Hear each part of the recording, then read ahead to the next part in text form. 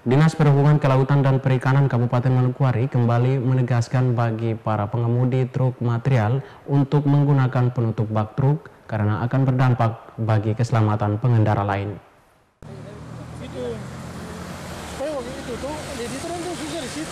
Menindaklanjuti instruksi Bupati Manokwari Demas Paulus Mandacan tentang penertiban kendaraan pengangkut material yang tidak menggunakan penutup truk Kini Dinas Perhubungan Kelautan dan Perikanan Kabupaten Manokwari kembali menghimbau para pengemudi truk material untuk taat aturan. Hal tersebut diungkapkan Kepala Bidang Lalu Lintas DPKP Manokwari, Raymond Ayomi.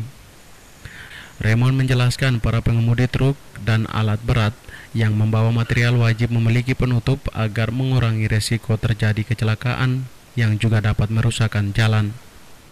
Ya, yang memuat material harus menutup karena sangat mengganggu kepada pengemudi pengendara lain yang beraktivitas di jalan raya.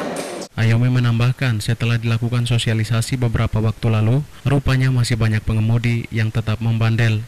Kata Raymond, kondisi ini harus menjadi perhatian bersama stakeholder dan OPD terkait dalam hal pemberian sanksi bagi pengemudi truk yang membandel ada perubahan sedikit cuma ada yang kepala batu kemudian ini ada macam-macam ya. Ada yang sekolah dan ada yang tidak sekolah. Jadi ya mungkin himbauan untuk mereka saja supaya ya apa yang kita buat ya mungkin mereka ikuti supaya tertib. Karena kerikil atau material yang mengganggu sangat mengganggu apa pengguna jalan yang lain. Gitu. Ayomi berharap ada kesadaran dari para pengemudi truk dalam mematuhi aturan yang telah dikeluarkan oleh pemerintah daerah agar tidak menjadi permasalahan di kemudian hari. Jimmy Tabisu mengabarkan.